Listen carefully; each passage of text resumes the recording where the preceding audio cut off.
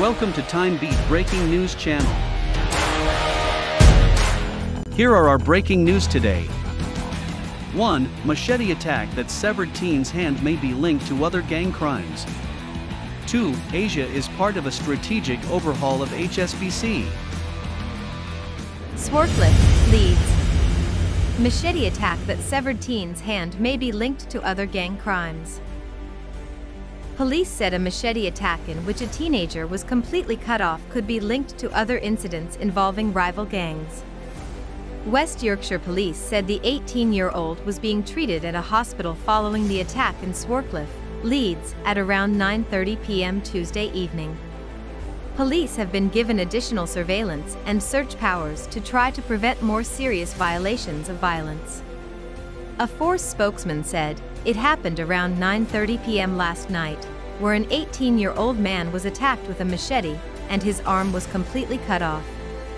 Officers in the area east of Leeds, near A64 York Street, will be able to search people or vehicles for weapons and offensive or dangerous tools without reasonable grounds to suspect who is in danger.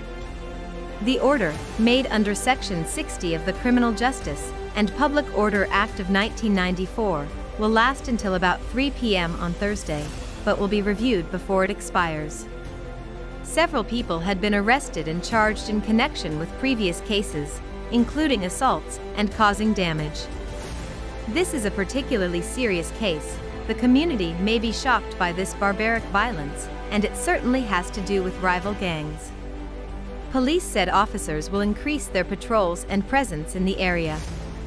Anyone who saw the incident or has any information that could help the investigation is asked to contact police or Crime Stoppers anonymously on 0800555111.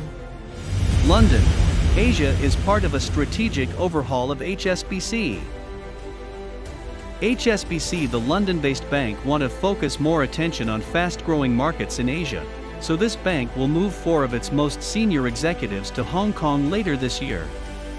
Barry O'Byrne, head of Global Commercial Banking, Greg Guyatt, co-head of Global Banking and Markets, and Nuno Matos, head of Wealth and Personal Banking will relocate to Hong Kong in the second half of the year. They will be joined by Nicolas Moreau, the head of Global Asset Management. However, the bank was not planning any large-scale movement of jobs from the British capital to Hong Kong. CEO Noel Quinn said I want more of our global executive team to be located in key growth regions, and Asia of course is central to our future growth, investment and innovation. SBC, HSBC, derives the vast majority of its profit from Asia, where it was founded 156 years ago as the Hong Kong and Shanghai Banking Corporation Limited. In February, it outlined plans to increase investment in the region by about $6 billion, highlighting China, Southeast Asia, and India as the drivers of its future growth. The bank will invest more than $3.5 billion over the next three to five years into wealth and asset management, hiring more than 5,000 wealth advisors and establishing Singapore as a wealth management hub. Thank you for watching. We help you stay up to date all the news hourly. Please subscribe our channel to follow up the latest one.